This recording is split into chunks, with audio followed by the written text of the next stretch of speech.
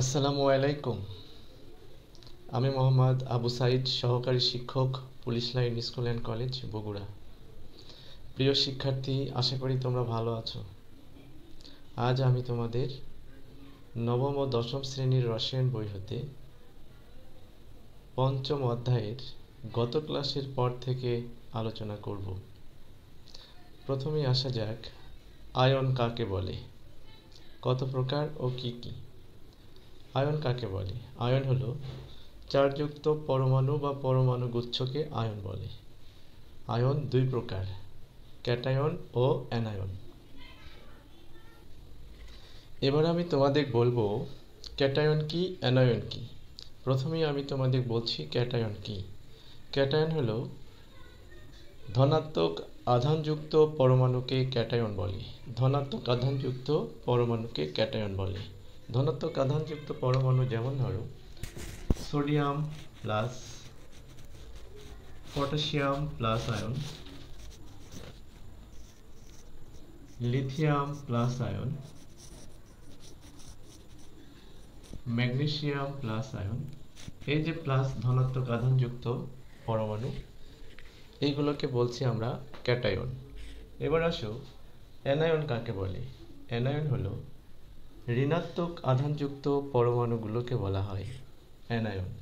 উদাহরণ হিসেবে আমরা বলতে পারি, ক্লোরাইড ঋণাত্মক আধানযুক্ত পরমাণু, এটা একটা অ্যানায়ন। ফ্লোরাইড ঋণাত্মক আধানযুক্ত পরমাণু, অক্সাইড সালফাইড।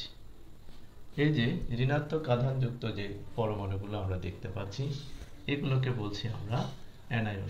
তাহলে এইগুলো হলো ক্যাটায়ন এইগুলো হলো অ্যানায়ন শিক্ষার্থীরা, তাহলে আয়ন হলো চারযুক্ত পরমাণু বা পরমাণু গুচ্ছকে বলছি আমরা আয়ন আয়ন আমরা দুই প্রকার জানলাম, একটা হলো ক্যাটায়ন আর একটা হলো অ্যানায়ন ক্যাটায়নের সঙ্গে আমি তোমাদের বললাম, এরকম ধনাত্মক চারযুক্ত পরমাণুগুলোকে বলছি আমরা ক্যাটায়ন আর এরকম ঋণাত্মক আধানযুক্ত পরমাণুগুলোকে বলছি আমরা অ্যানায়ন এবার ক্যাটায়ন এবং অ্যানায়ন কীভাবে সৃষ্টি হয় সেটা আমরা জানব। প্রথমেই ক্যাটায়ন সৃষ্টির সম্পর্কে আমরা ব্যাখ্যা করব। ক্যাটায়নের সংজ্ঞায় আমরা জেনেছি, ধনাত্মক আধানযুক্ত পরমাণুগুলোকেই ক্যাটায়ন বলে।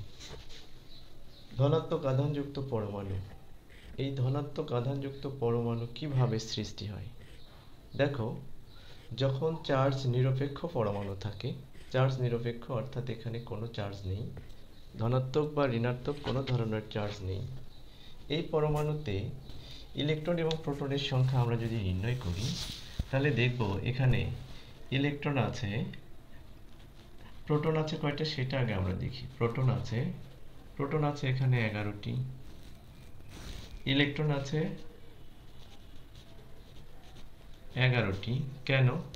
চার্জ নিরপেক্ষ পরমাণুতে আমরা জানি প্রোটন এবং ইলেকট্রন সংখ্যা সমান থাকে। অর্থাৎ এগারোটি চার্জের আধান এগারোটি প্লাস ইলেকট্রনের, অর্থাৎ এগারোটি ইলেকট্রনের আধান এগারোটি মাইনাস। অর্থাৎ এদের যদি আমরা বিয়োগফল করি, তাহলে এখানে শূন্য হয়। এই শূন্য মানে এখানে কোনো আধান নেই। তাহলে আধান কীভাবে সৃষ্টি হবে? আধান সৃষ্টির কারণ হলো পরমাণুতে যখন ইলেকট্রন যোগ হয়, অথবা পরমাণু থেকে যখন ইলেকট্রন অপসারিত হয়, তখন পরমাণুটি ধনাত্মক অথবা ঋণাত্মক আধানে আধান প্রাপ্ত হয়। কখন ধনাত্মক আধান প্রাপ্ত হবে? পরমাণু থেকে যখন একটি ইলেকট্রন অপসারিত হবে, তখন একক ধনাত্মক আধান তৈরি হবে। যেমন ধরো, সোডিয়ামটাকে আমরা উদাহরণ হিসেবে ব্যাখ্যা করতে পারি। সোডিয়ামের ইলেকট্রন বিন্যাস দুই আট এক। এখান থেকে যখন একটি ইলেকট্রন অপসারিত হয়, তখন তার ইলেকট্রন বিন্যাস হয় দুই আট। এখান থেকে একটি ইলেকট্রন অপসারিত হয়েছে, অর্থাৎ সোডিয়াম একটি ইলেকট্রন ত্যাগ করছে। এবার লক্ষ্য করো, সোডিয়াম প্লাস আয়ন কীভাবে এই চার্জটা গঠন করল সেটার দিকে। এগারোটি প্রোটনের চার্জ, এগারোটি মাই প্লাস। সেখানে এই এই আয়নে এখন কিন্তু যেহেতু এখানে চার্জ প্রাপ্ত হয়েছে, এখন আর এগারোটি ইলেকট্রন নাই। কয়টা আছে? দশটি ইলেকট্রন আছে। তাহলে দশটি ইলেকট্রনের চার্জ হলো দশটা মাইনাস। এবার যদি আমি মোট চার্জ হিসাব করি, তাহলে দেখব যে, তাহলে দেখব যে এগারো বিয়োগ দশ বিয়োগফল হয় ওয়ান প্লাস। এই ওয়ান প্লাসটা হইল এখানে।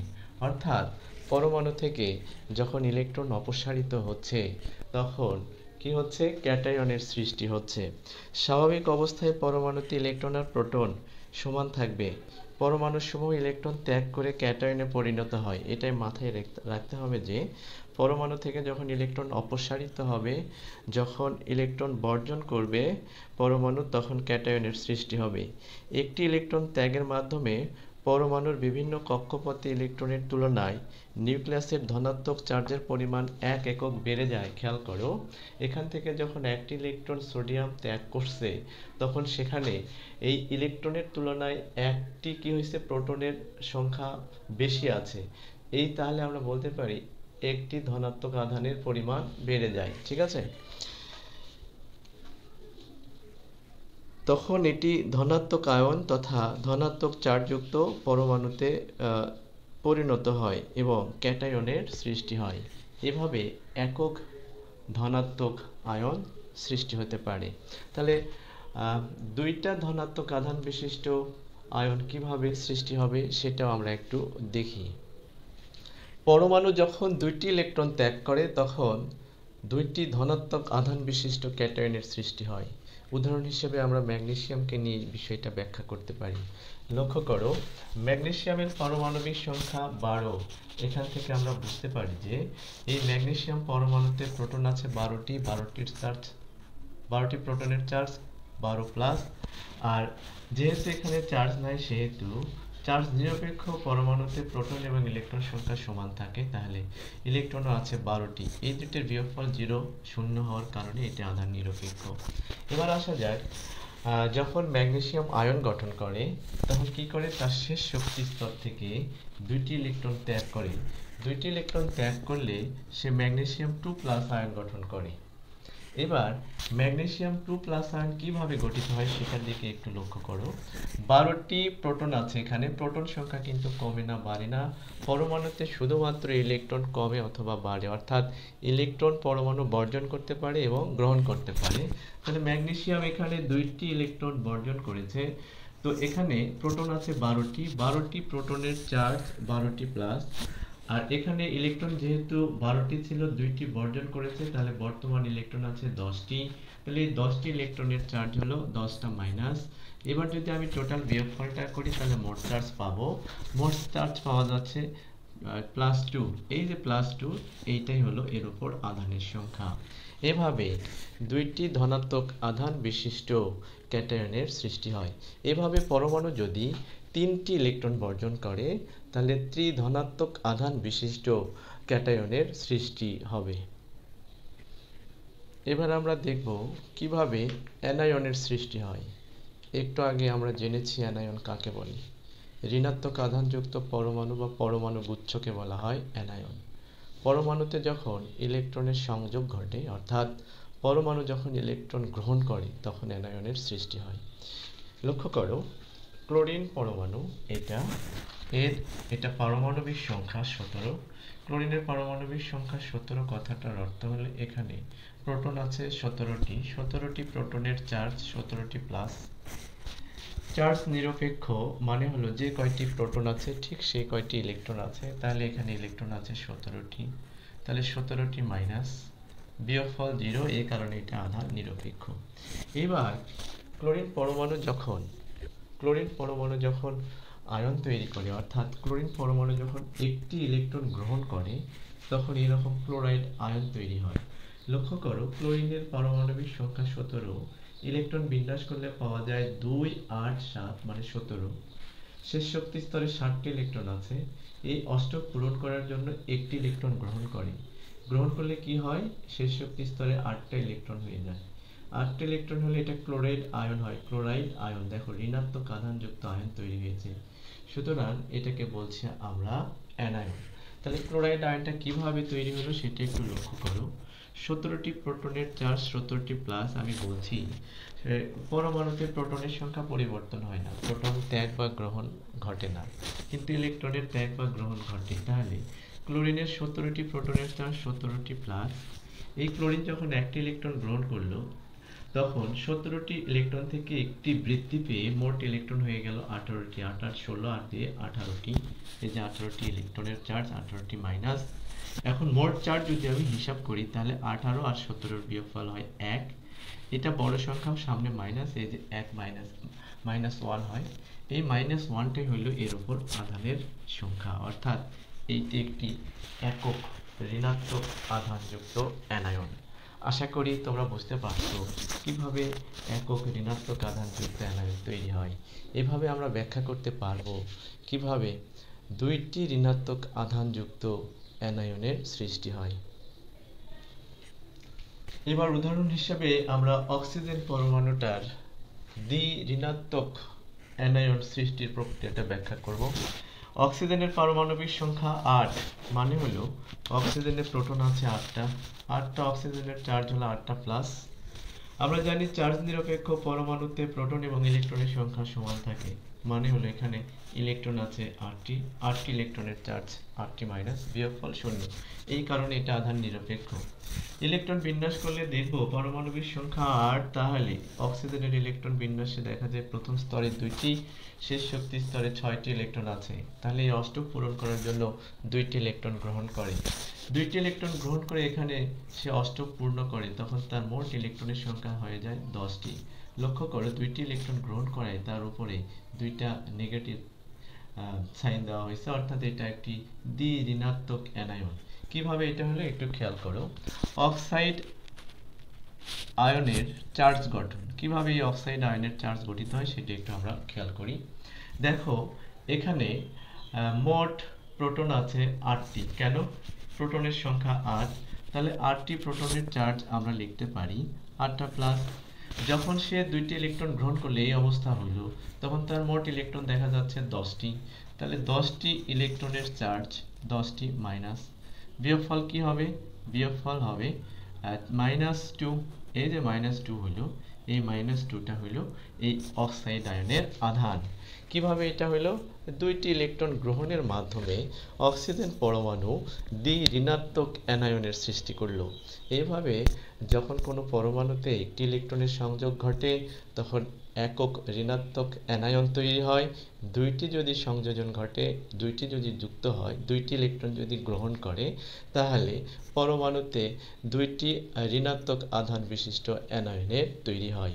শিক্ষার্থীরা, আমি মনে করছি যে তোমরা কীভাবে অ্যানায়ন এবং ক্যাটায়ন সৃষ্টি হয়, সেটা বুঝতে পেরেছ।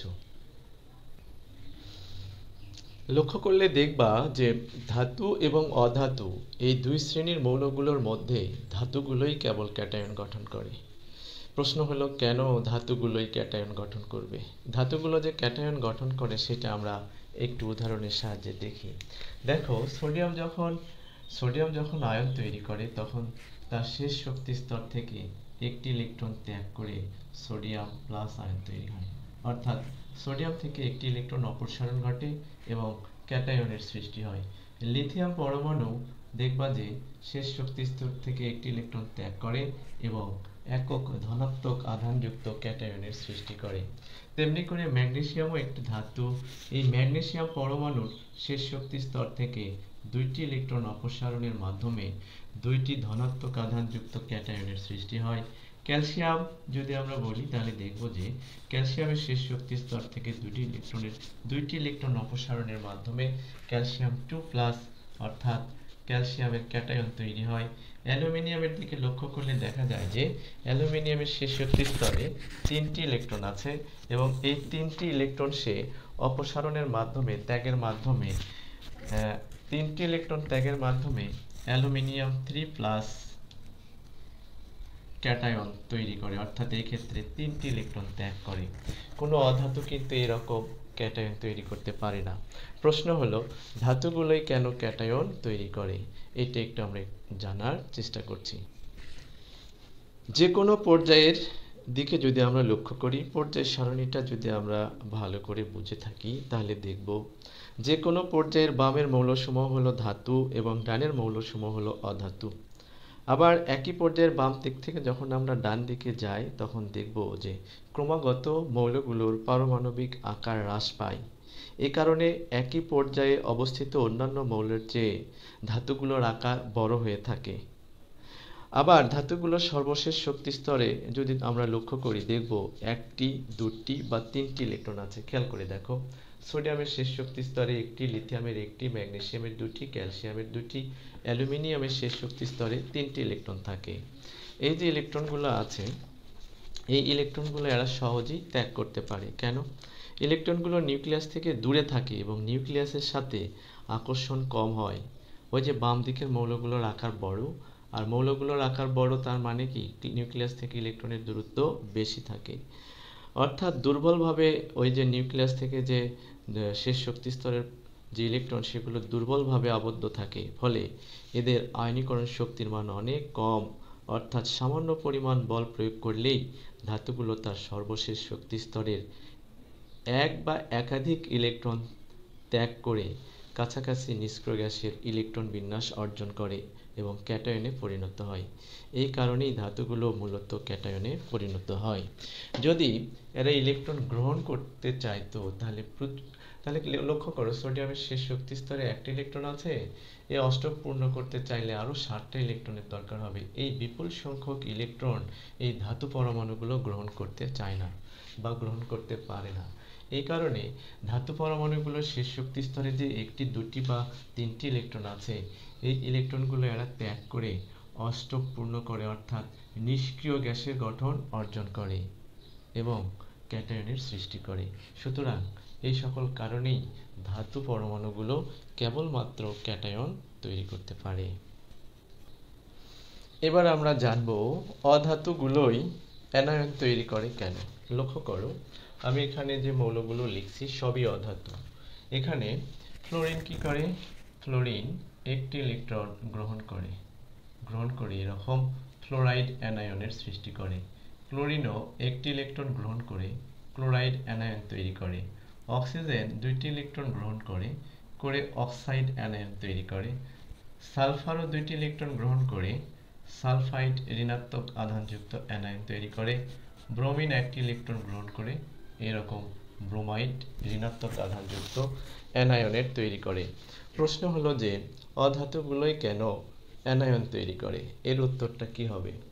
আবারও আমরা আগের মতো করে দেখব যে এই মৌলগুলো অধাতুগুলোর অবস্থান পর্যায় সারণী কোথায় এবং কেন এরা অ্যানায়ন তৈরি করে। খেয়াল করো, অধাতুগুলোর সর্বশেষ শক্তি স্তরে অষ্টম অপেক্ষা সাধারণত একটি, দুইটি অথবা তিনটি ইলেকট্রন কম থাকে। যদি আমরা ফ্লোরিনের দিকে লক্ষ্য করি, দেখব ফ্লোরিনের ইলেকট্রন বিন্যাস হলো দুই পাঁচ দুই সাত, অর্থাৎ এর পারমাণবিক সংখ্যা নয়।